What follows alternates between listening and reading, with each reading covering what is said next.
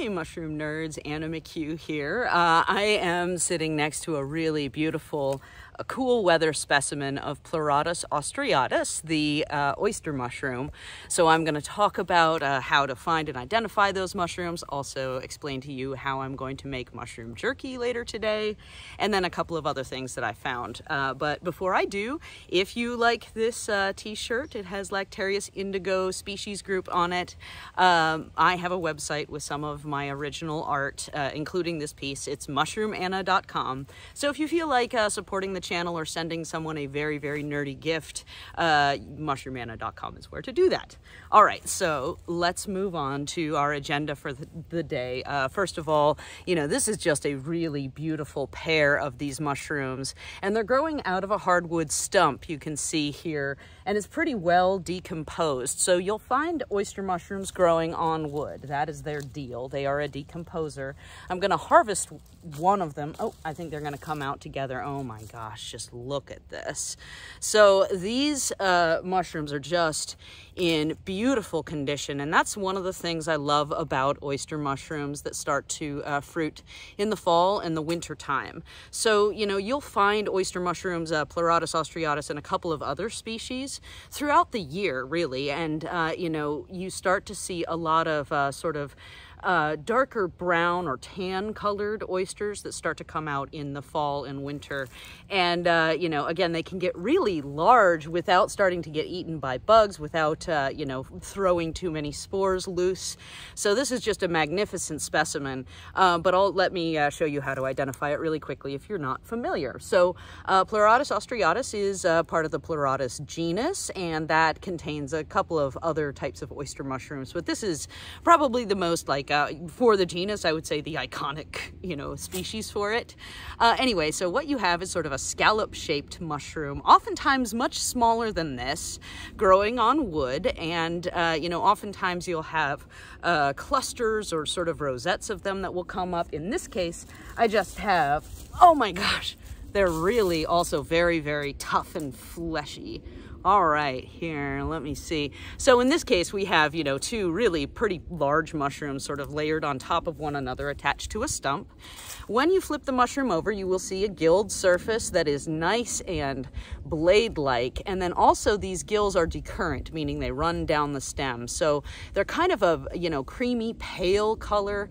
And, uh, you know, the spores are white and very numerous. And so when you have an oyster mushroom that starts to drop its spores, you'll very frequently see a large amount of spore deposit on other fruiting bodies nearby. So like if you have a, um, and that's one of the reasons, you know, this is a really nice specimen is even though these are quite large, they haven't started to drop spores yet. So under a lot of normal circumstances, I would expect to see the top of this mushroom just covered in white powder. So anyway, you have these decurrent gills, nice and creamy, white spore deposit. It has a nice sort of, um, you know, almost uh, like fruity meaty aroma. I don't know exactly how to describe it, but certainly there's a bit of, um, you know, I guess, pla very plausibly seafood, and that's one of the reasons I think that it got the, uh, you know, common name oyster mushroom, in addition to its very, you know, oyster-shaped appearance when, uh, you know, it, it comes and, and sort of uh, fans out off of the side of, um, its substrate, so, you know, whatever wood it's growing on. And to that point, you'll oftentimes find oyster mushrooms that have way less of a stem than this one. And, you know, typically it's just more of a like little blobby knot and it will uh, basically attach to the side of the wood and then you'll have the oyster mushroom sprouting off of it. And for that reason, a lot of oyster mushrooms have this sort of like half circle look to them as opposed to being a mushroom that, you know, is uh, circular or an oval, something similar. So um, that is Pleurotus ostreatus, really abundant and uh, I think when I first came to North Carolina, I was not spending a lot of time around oak trees because I was in the Pacific Northwest. So it was all Douglas fir mushrooms all the time.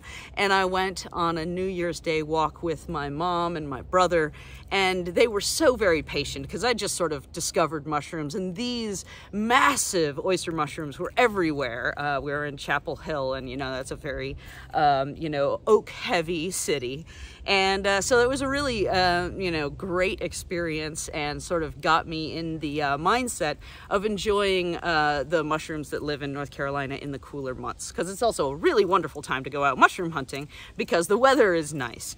All right, so final remarks on this. This mushroom is actually fairly tough and also because it's so large and has so much gill, what I'm going to do with this is I'm going to take it home and make it into mushroom jerky. So the instructions for doing this more or less, and there's a lot of different, um, you know, combinations of marinades that you can make, but, uh, you know, it is recommended that you use something acidic. So in my case, I'm going to do something uh, more like on the, um, vinegar side of things. So I'm gonna take this home and cut it up and then I'm gonna parboil it for a couple of minutes. Usually, you know, and a lot of my mushroom recipes start with like, I take it home, I clean it well, and then I parboil it for a couple of minutes and then move on from there.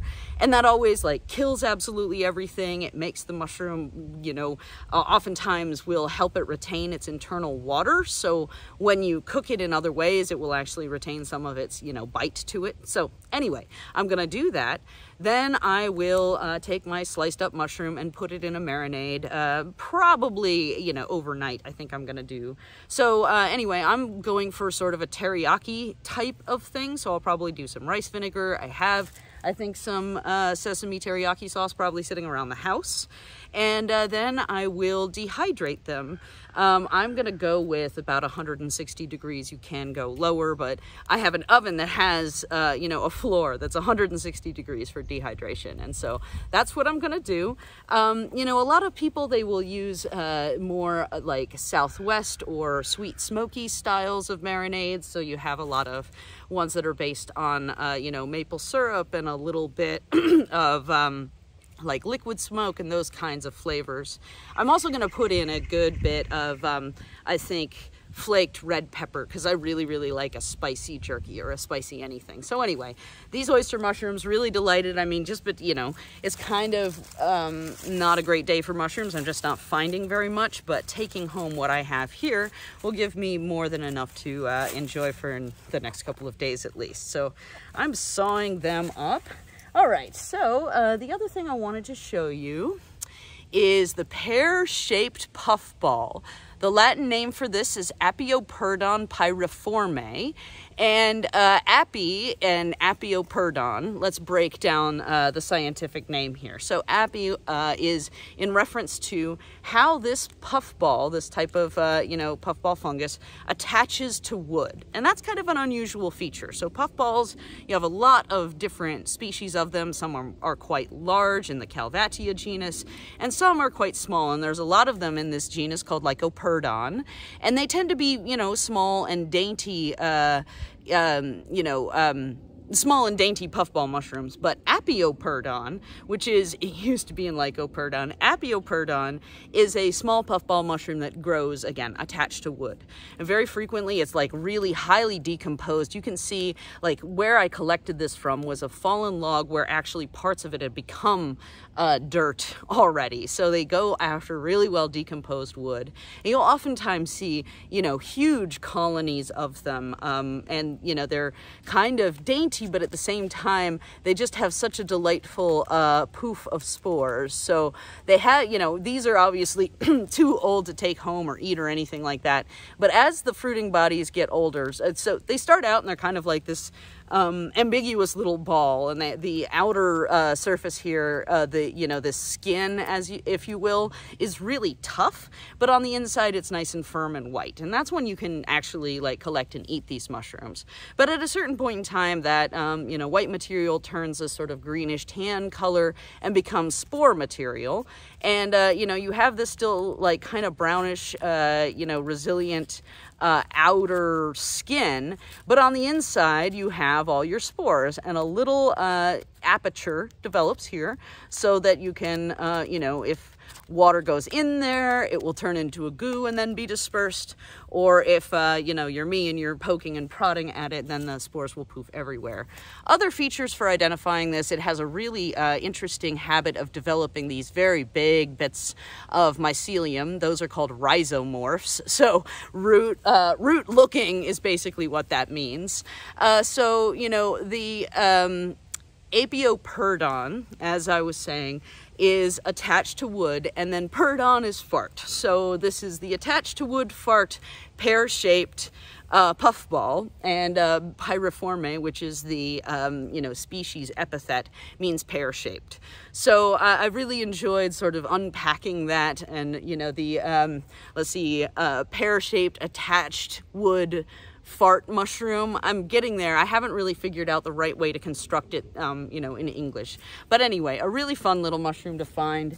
Uh, even though, you know, I don't eat puffballs very frequently, but they are quite tasty.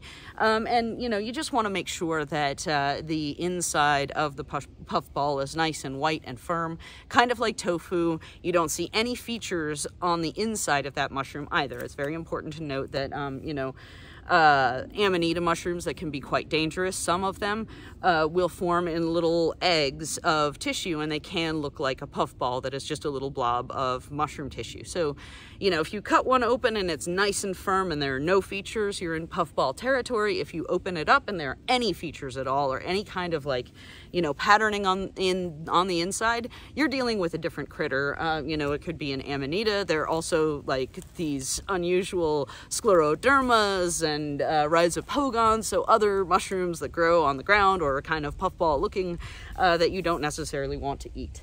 Uh, in conclusion, I'm going to just share with you a mushroom that I thought this was going to actually be uh, a little uh, tremella. So basically what I have here is an itty bitty teeny tiny little winter hedgehog mushroom. I can't even show very well, unfortunately. I wanted to there we go. That's a little bit better. So you can see I've got little teeth here. I got a little bit of orange yellow staining. It is uh, kind of worn out, but I actually collected this. I didn't know what it was, uh, but I thought it was maybe, you know, witch's butter, which is sort of this slimy orangey thing. Um, and I had no idea that it was actually a hedgehog mushroom. And, um, you know, I'm delighted to find it. And I'm kind of sad I collected it, but I'm going to leave it here because even though hedgehogs are my favorite edible, not in that condition nor that size. Um, last words and remarks. I hope you're having a wonderful uh, remainder of your mushroom season. I do want to share with you these beautiful turkey tails. I've been talking at, you know, not great length, but I have talked a couple of times about how when the weather gets cooler, turkey tail, Trametes versicolor, can oftentimes take on nice bluish tinging. And although this is more like a slate gray with little hints of blue, this is what I'm talking about. So you'll oftentimes find, you know, turkey tail, which is just this delightful, colorful little character we find growing on wood all year long. Um, you know, in the summertime, it's often like brown and tan and sometimes really gets a lot of algae on it and it turns green. But in the cooler months, it takes on these uh, much more sedated, wintry colors oftentimes. And so that's one of my, one of the things, I love a bluish turkey tail. So I'm delighted to find it. I am hopeful that you're well and we'll talk again next time.